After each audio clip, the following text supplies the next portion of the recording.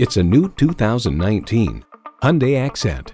With plenty of room to go around, it's a subcompact that's big on space. And with features like these, every drive is a pleasure. Voice activation, wireless phone connectivity, manual tilting steering column, power windows, air conditioning, inline four-cylinder engine, gas pressurized shocks, and external memory control. Challenging convention to find a better way. It's the Hyundai way. You'll never know until you try. Test drive it today.